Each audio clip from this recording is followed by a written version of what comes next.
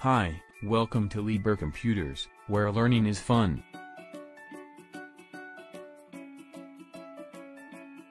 In today's class we will be learning, networking basics.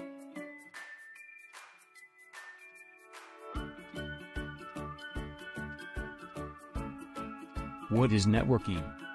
It's a collection of computers, servers, peripherals, networking devices etc. An example of network is the Internet, which connects the whole world. Example are hubs switches etc. Today's session we will learn the basic characteristics of a network, and the physical components that connect the network together.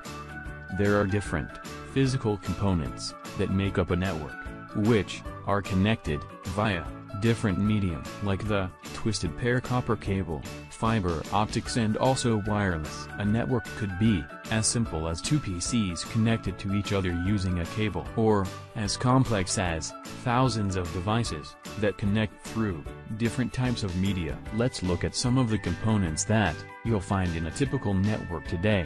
The first one is endpoints.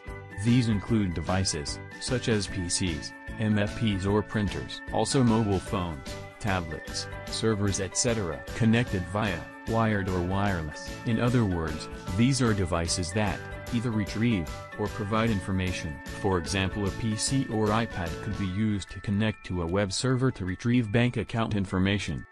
Interconnections, these are the various components that connect the devices in a network. They provide a means for data to travel from one point to another.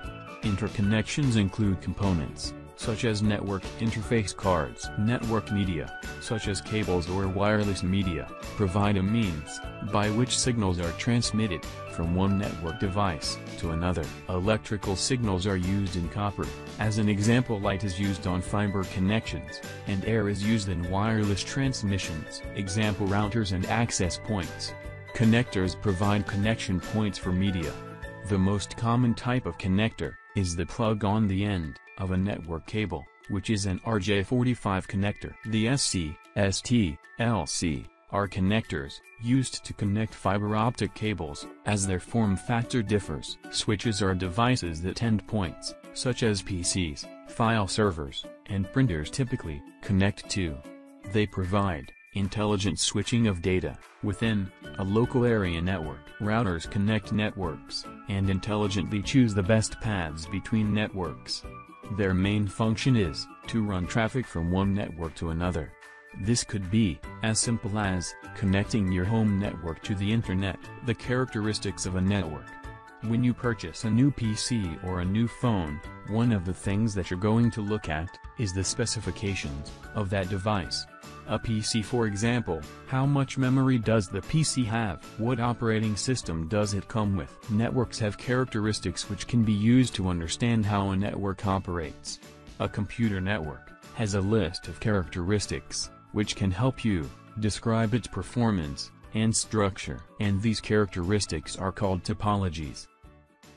As we wind up, we have learned today some of the physical components of a network and the characteristics of the network. Thank you. See you for the next session.